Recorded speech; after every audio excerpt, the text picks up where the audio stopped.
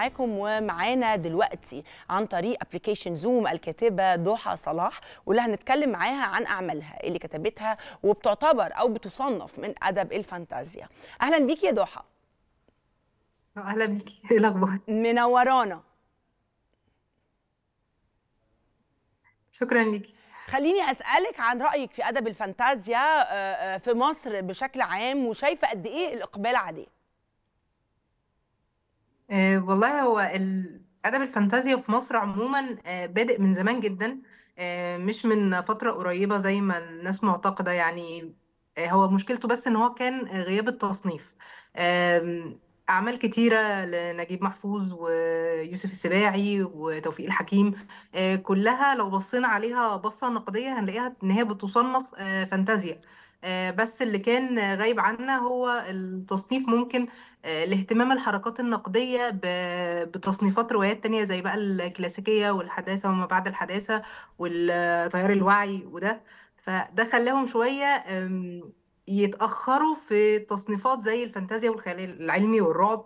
فدي كانت بالنسبة لهم بتعامل على إنها شوية أدب آه، درجة تانية. آه، مؤخرا ابتدى الموضوع يتوسع وده بسبب آه، انتشار الأعمال الفانتازيا التجارية. آه، okay ده اللي شوية ابتدى يخلي آه، في آه، زي spotlight كده على على الأعمال بتاعة الرعب والخيال العلمي والفانتازيا. أيوه. لسه هي في البداية.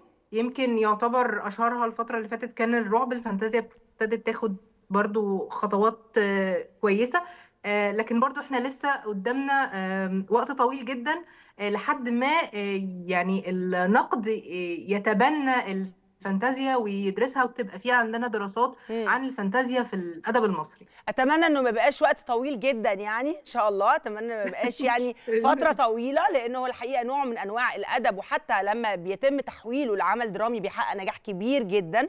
فأعتقد إن زي ما أنت قلتي هيكون في إقبال عليه أكتر الفترات اللي جاية بشكل كبير جدا. كلميني عن رواية طرق مختصره إلى الفردوس باعتبارها أكتر كتاباتك أو أكتر الكتابات اللي فيها أدب فانتازيا Ásia. هو من يعني من وأنا صغيرة كنت بحب جدا ال- الحكايات بتاعت آه، علي بابا وألف ليلة وال- ومن الغولة وكل الحكايات اللي هي أيوه. ال- الشعبية أو الحكايات الأسطورية أيوه. اللي كانت وما أظنش إن في بيت من عندنا ما كانش عنده الطبعة الصفراء بتاعت بيروت بتاعت كليلة ودمنه طبعا. فدي الحاجات اللي كبرنا عليها إحنا كأطفال والمسلسلات طبعا بتاعت شريهان ونيلي الفوازير وألف ليلة وليلة. طبعا. فكل الحاجات دي بتأثر في أي مبدع. أيوه. آه، إن هو آه، استقى ثقافته من من تراثه. صحيح. آه، كل ده خلاني لما أبتدي أكبر أميل أكتر لإن أنا أقرأ الحاجات اللي فيها فانتازيا أو امم الحاجات ال- المختلفة. الحاجات حتى لو الرواية بتبقى بتكون آم، روايه ماشية في سياق واقعي لكن يكون فيها خط فانتازيا أو خط خي- خيال ده دايما اللي كان بيشدني. لما جيت أكتب طريق مختصر إلى الفردوس أنا كنت بحب أنا طول عمري بحب أليس في بلاد العجائب. وحبيت إن أنا أعمل عالم زيه بس عالم لل... للكبار. لو لو العالم ده مخلوق لل... آه. للكبار مش للأطفال هيبقى عامل إزاي؟ okay. ولو أليس الكبيرة دي انتقلت في الحفرة اللي هي وقعت أيوه. فيها آه، هل هي هتروح لبلاد العجائب ولا هتروح لعالم تاني آه، سوداوي؟ وهيبقى عامل إزاي؟ ب- بشكل أكثر آه، نضجا. يعني حاجة ما تنفعش لليافعين حاجة ت- تنفع لل... لل... للكبار أكتر. و- وحسيتي إنه إنه إنه في إقبال على الفانتازيا آه، بالشكل ده للكبار؟ حسيتي إن الموضوع يعني في إقبال عليه؟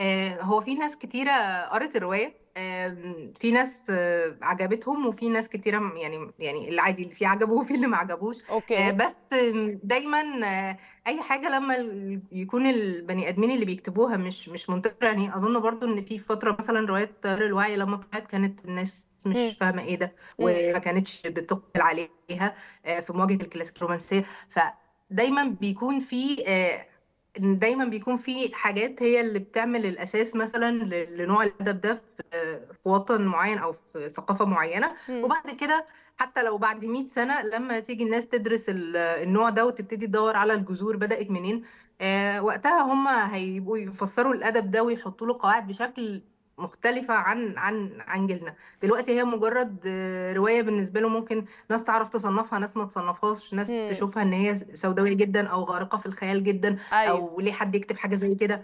آه وفي ناس هتشوف الرواية دي والله حلوة دي عبقرية دي بعد 100 سنة ما هتبقى من الروايات أكيد. اللي بتدرس في مش عارفة إيه.